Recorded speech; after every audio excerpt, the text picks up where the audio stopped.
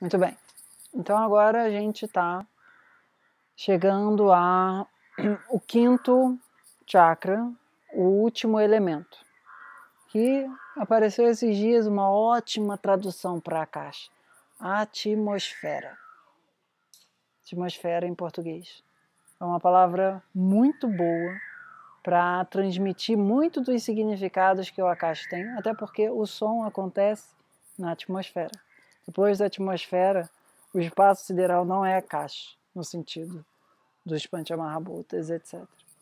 Bom, mas isso já é um outro papo. O que, que o quinto chakra, o Vishuddha, tem a ver com a nossa existência? Qual é a função primordial dele? Primeiro era segurança física, segurança do Anamaya Kosha, certo? Segundo era a nossa capacidade de uh, ter desfrute na vida, ter uma capacidade de reprodução, não só de sobrevivência, mas de reproduzir, certo? E envolve a nossa capacidade de uh, desfrutar a existência junto da parte da reprodução.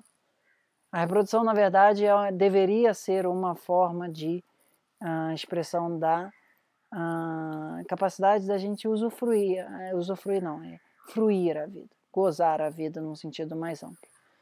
Depois disso, a necessidade fundamental é, no terceiro chakra, a, a capacidade de expansão. Vocês vão ver muito a palavra poder para o terceiro chakra, mas poder, de fato, é uma palavra que pode ser de alguma forma aplicada, Shakti, é uma palavra que pode ser aplicada para qualquer chakra, em algum grau.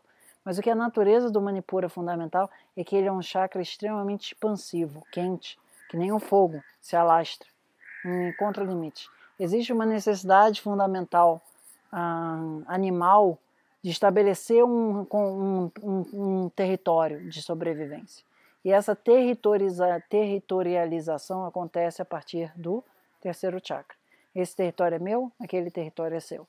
E ah, daí vem a noção de poder, etc. E tal. Mas é uma noção de que você só no seu corpo e a sua família que nasceu de você não é mais suficiente. É preciso, de alguma forma, ter um controle, uma, uma busca de uma relação com o território. Então, esses três chakras eles desenvolvem uma relação bastante animal na existência, onde eu, o uh, gato que está ali, ou o coelho que está ali, que seja, todos esses animais vão desempenhar esses três chakras com uma grande importância. Eles são chakras ah, animalescos e precisam ser em algum grau. O quanto que eles vão estar tamásicos e rajásicos é uma outra questão. Mas animalescos nesse sentido de que a gente compartilha isso com os outros animais abertamente. O quarto chakra ele já é o chakra chamado chakra humano, onde a questão do afeto se torna, digamos assim, um pouco mais evidente e a gente poderia chamar ele de um chakra mamífero. Você consegue reconhecer nos mamíferos uma relação de afetividade que nos répteis, no geral, você não consegue reconhecer. Você não consegue ver um réptil lambendo o outro como uma demonstração de afeto. Mas você consegue ver um tigre fazendo isso. Você consegue ver alguns animais que têm uma capacidade de carinho maior e a necessidade de uma relação afetiva com a existência. Ok? Então, o quarto chakra, muita função do afeto. O quinto chakra é uma relação de comunhão com algo que vai para além de uma forma física. Então, a necessidade do quinto chakra é o, o chakra que a gente poderia dizer assim, o chakra onde a porta da espiritualidade a gente chegou ali. A gente consegue enxergar uma dimensão maior à existência e a gente fala, a vida só com afeto, ela não está completa. Você pode estar tá com dinheiro, você pode estar tá com casa, você pode estar tá com comida, você pode estar tá com sexo, com filho, com afeto, com isso tudo. Ainda assim, a existência humana ela depende de uma relação de é, contorno maior.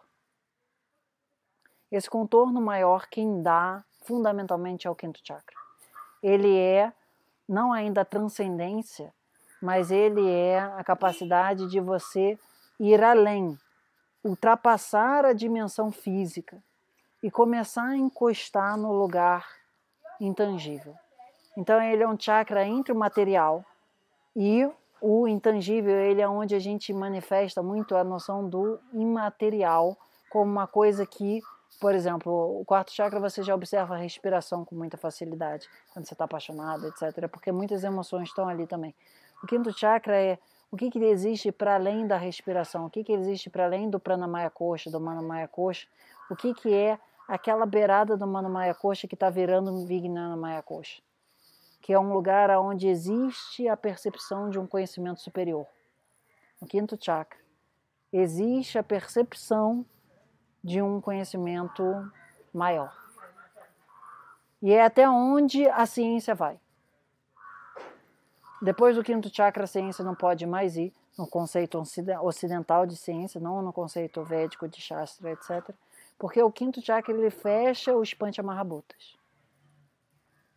E nesse quinto lugar é o lugar onde a pessoa ou ela aceita uma necessidade de um desenvolvimento espiritual ou o sexto chakra da forma como é do ponto de vista espiritual não vai se manifestar.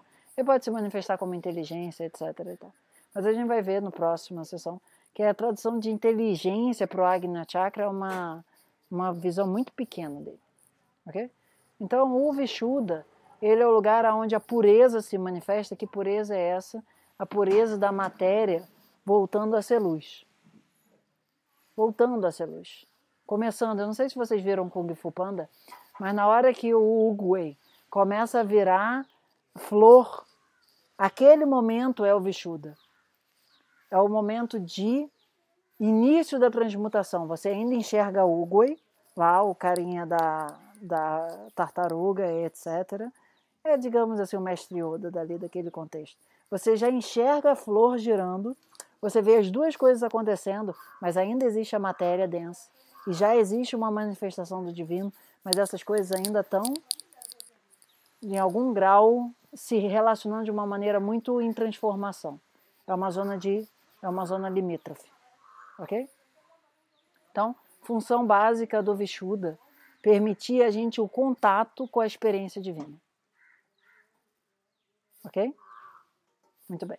Agora vamos ao tamas, rajas e sattva da história.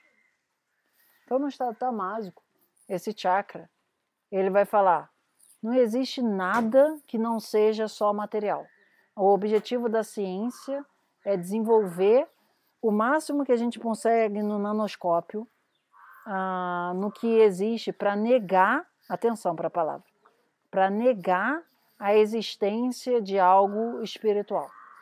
Nesse estado tamásico, a pessoa está buscando fazer com que a matéria ainda seja a única coisa que existe, a única resposta que existe. Ela está buscando resistir à natureza já mais acástica desse chakra, fazendo, não, apega lá a matéria e nega tudo. Vamos fazer todo tipo de filosofia, etc. e tal, para combater, atenção, para negar, para rejeitar, para refutar a existência de um algo além da matéria ok? No Tamas Rajas.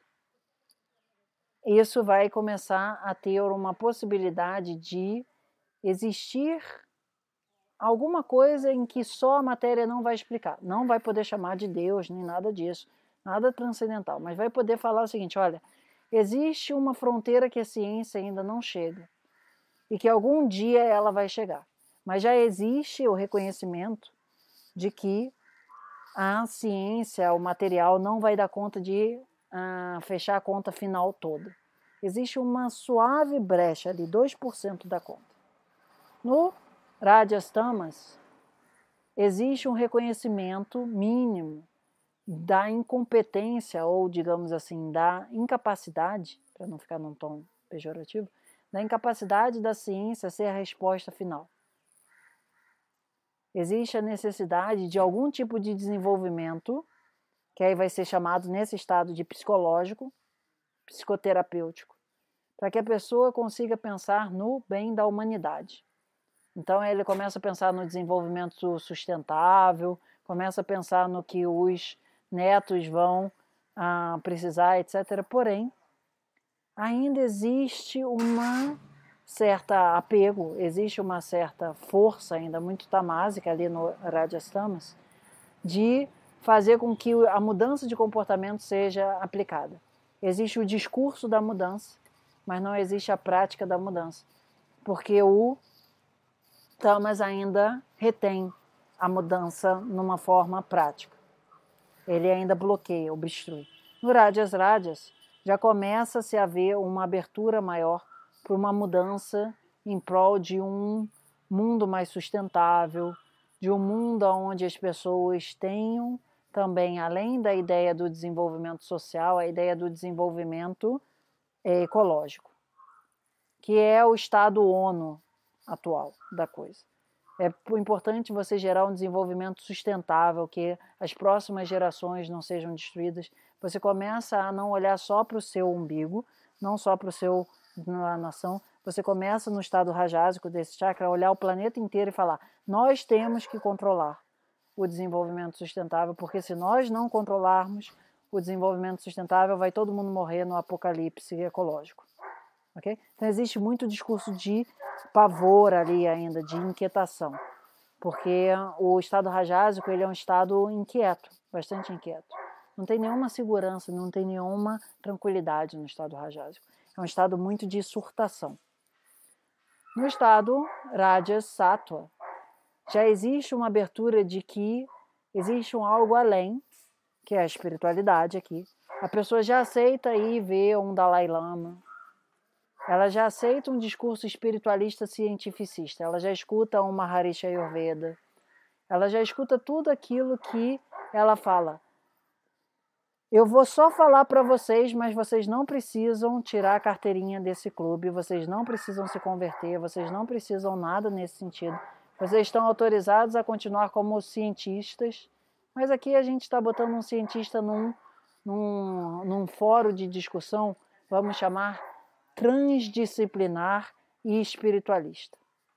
Chegou no Sato, a palavra espiritualista tem alguma noção, pelo menos, de aparecer no meio de uma convenção lá da ONU, etc. e tal. Aparecem alguns lamas, etc. Fala, não, só a ciência só não, não cabe. No Sato Arajas, o discurso científico ele continua ali, mas ele já não é mais a principal questão.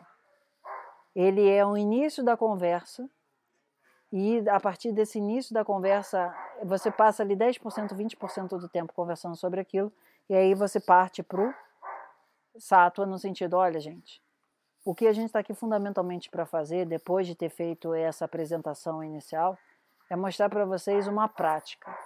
E aqui agora a gente vai desligar um pouco o PowerPoint, e a gente vai sentar e vai fazer uma respiração, vai fazer algum tipo de prática, etc., para sair da ideia do discurso e do convencimento do discurso para tocar a experiência efetiva da pessoa. No sattva, a pessoa ela já está muito aberta ali e ali o sattva nesse chakra vai ser chamado de espiritualidade, uma busca por um desenvolvimento espiritual. Ela vai estar tá buscando, ela já não tem mais problema de usar a palavra guru, ela já não tem mais nenhuma inquietação nesse sentido. Ela entende que ela precisa buscar não necessariamente uma religião, mas um princípio de espiritualidade. Sem espiritualidade, a conta não vai fechar. Ela já desencanou da ideia de que a ciência é a mola mestra. Ela entende o papel da ciência, ela valoriza o papel da ciência, e ela entende até onde a ciência vai e de onde a espiritualidade deve, digamos assim, levar o barco dali adiante reconhecendo ainda, não é que a espiritualidade ela ela joga a ciência para fora do barco. Ela só fala assim, não, a ciência tem o seu papel aqui dentro também, ela continua importante. E no estado iluminado, essa pessoa ela ah, ela tem uma capacidade pela presença dela chegar no lugar e fazer com que pessoas que a princípio são radicais contra aquilo, elas criem uma uma, um choque energético, um choque vibracional, que a pessoa, mesmo não querendo acreditar naquilo, não querendo gostar daquilo, aquilo mexe com a pessoa, pode ser que ela negue, etc. E tal. Ok? Então, nesse estado iluminado é o que a gente, no geral, vai chamar de santos, que você fala, nossa, aquela pessoa passou por ali e ela arrebanhou o coração das pessoas. Porque é tanto a caixa disponível na pessoa que ela se sente em presença divina sem querer aceitar que a presença divina exista. Ok? Muito bem. Agora a gente vai para terapêutica disso. Certo? No estado tamas, muitas vezes não adianta cuidar desse chakra. Tem que cuidar dos outros. No anahata ainda dava para você tipo olhar dali, mas nesse chakra daqui, no Vishuddha, a não sei que a pessoa esteja com um problema muito grande de comunicação, sensação de falta de capacidade de asfixia, falta de sensação de é, apertando a garganta, etc. E tal. O foco desse tratamento não vai ser primeiro nesse chakra, porque ele é muito mais sutil. Ele depende de pelo menos os outros três estar minimamente ajeitado para você chegar ali. A não ser que seja uma questão muito específica da pessoa. Ah, pelo menos dos três primeiros. Os três primeiros eles ajudam você a poder acessar os três últimos. Se os três primeiros minimamente resolvidos, aí o Agnya Chakra então, ixi, aí já é muito mais sutil.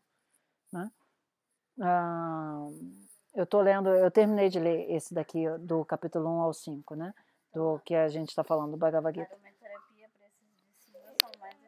É, aromaterapia, essas coisas mais densas para esses chakras de cima, quando a pessoa está no estado tamásico, tem alguma chance de funcionar, porque é matéria.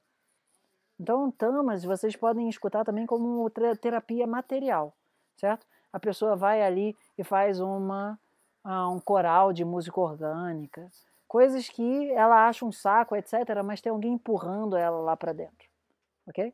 Mas fundamentalmente você não está falando nada de espiritualidade para a pessoa. Você está falando para ela ir fazer aula de canto. Nem ser aula de canto gregoriano, não. Você vai lá para ela manifestar a área densa desse. Ou empurrar ela para lá.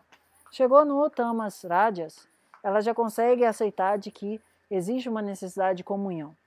Então ela não está fazendo só aula de canto sozinho, ela está começando a fazer aula de canto de uma coisa lá, MPB, sertanejo, não importa tem que ela tem que gostar o suficiente para tirar aquele tamas dali e aquilo ela esse de dia a gente briga. Aí ela vai no karaokê, você fala para ela todo dia, toda semana ir no karaokê pelo menos uma vez, ou alguém levar ela para um karaokê, etc e tal. Mas a atividade do canto, não estou te dizendo que ela é menor, mas ela é densa o suficiente para ser uma atividade muito terapêutica para esse chakra, que tem muito a ver com a ação da fala.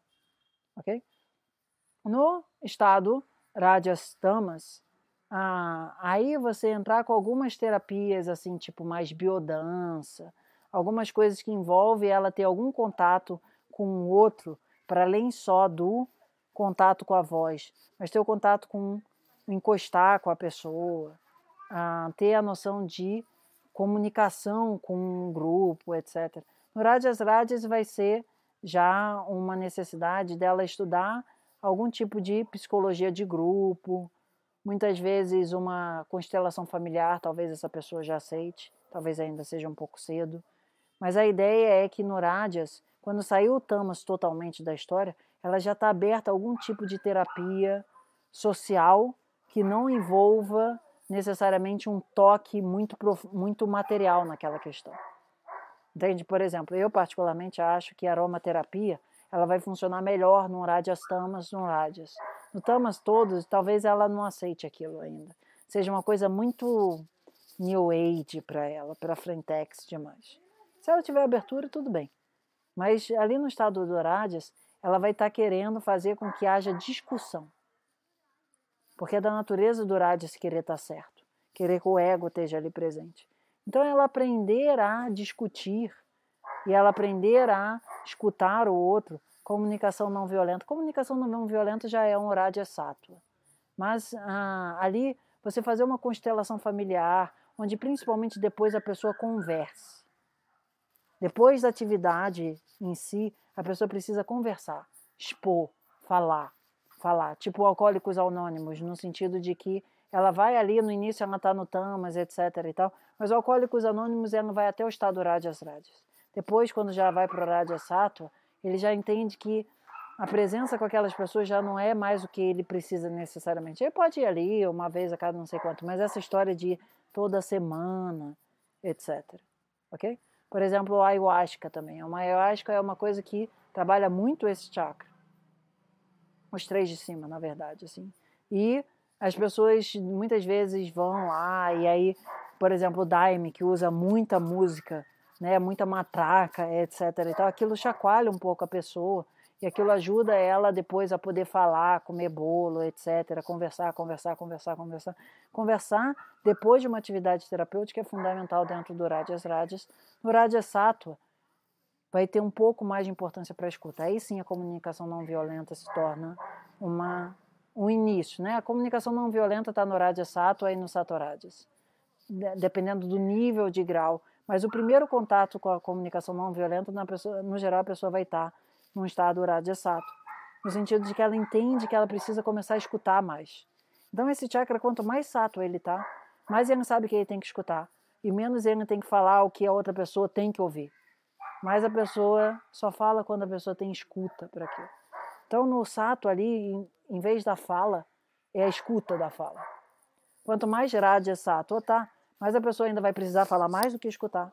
Quanto mais sato Radha está, mais ela vai precisar escutar do que falar. Então, no, na comunicação não violenta, quando a pessoa já é um professor, um instrutor, etc., ele escuta muito. E que capacidade de escuta ele tem? Mas no final, ele ainda de alguma forma está obrigado socialmente a falar alguma coisa. No Rajas, dentro desse chakra, a fala ainda é muito importante. No Sattva, a escuta vai ganhando importância. No Sattva, a fala já de vez em quando tem alguma necessidade, mas ela é pontual. No estado sático, a comunicação nesse chakra, ele já se torna muito mais pela presença e pela postura e pelo comportamento. O seu comportamento ensina as pessoas. A sua presença meditando ajuda as pessoas a meditarem. A fala ela é mais transmitida através da pura presença do que necessariamente da fala. A fala ela é uma forma um pouco mais rude de comunicação. A nossa capacidade mais empática, telepática, você chega ali na frente da pessoa com uma pergunta e você fica ali com aquela pergunta e às vezes a pessoa nem falou sobre aquilo que era a tua pergunta, a resposta vem na tua cabeça. Porque a comunicação ela já está acontecendo num nível mais sático, as palavras elas são bem problemáticas para a comunicação. a comunicação sática, ela fala, a palavra atrapalha, na maior parte das vezes. O olhar ele é muito mais poderoso. A presença é muito mais poderosa para comunicar de uma forma mais precisa. No estado iluminado, às vezes nem a presença física da pessoa é necessária. A presença energética da pessoa já é suficiente para aquela comunicação acontecer. E aí você sente teu guru perto de você, você sente uma deidade perto de você, etc.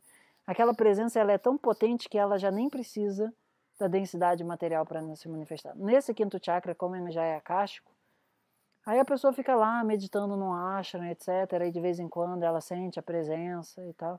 Não chega ali te dando um discurso. Ok? Ah, isso é válido comentar aqui, que a gente vai passar pelo Bhagavad Gita daqui a pouco. A visão védica da coisa é que a comunicação, quanto menos falada ela é, melhor. Quanto menos escrita, melhor.